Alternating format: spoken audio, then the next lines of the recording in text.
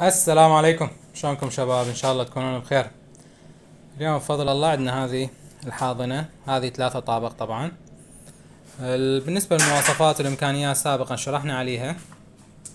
وراح نشرحها هسه همنا بشكل سريع. بس هذه حاضنة ثلاثة طابق.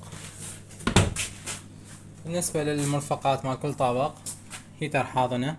هذا ثلاثة في واحد. ثرموستات مروحة هيتر وإنارة همينة. فيعتبر أربعة في واحد. عندك ذاك جلوب مال أشعة حمراء. كل فقاسة تج... كل رف العفو يجي وياه. سقايات اثنين علافات اثنين إضافة للسقاية التركية. الأفراخ من تكبر.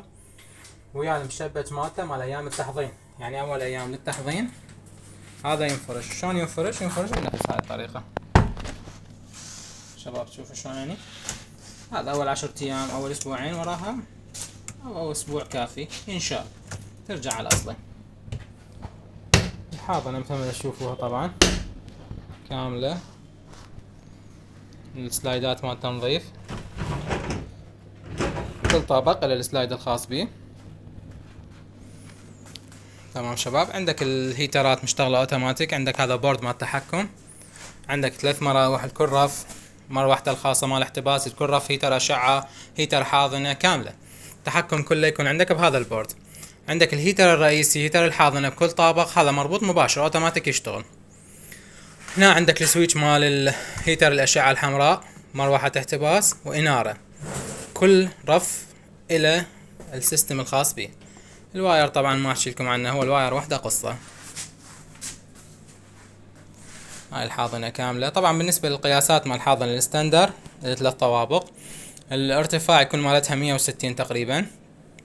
ال- العرض مالتها متر والنزال خمسين. طبعا هسه القياسات شوية مختلفة هذا يعني طلب خاص يعني سويته حسب طلب الزبون فهذا شي خاص. ال standard مالتي مثل ما قلت لكم متر وستين بمتر بنزال خمسين. السعر مال هاي الحاضنة كاملة بهاي المواصفات اللي بيها طبعا وياها بعد دبة مال مي دبة رئيسية تغذي السقايات التركية مال كل رف السعر مال هذه الحاضنة أربعمية وخمسين ألف.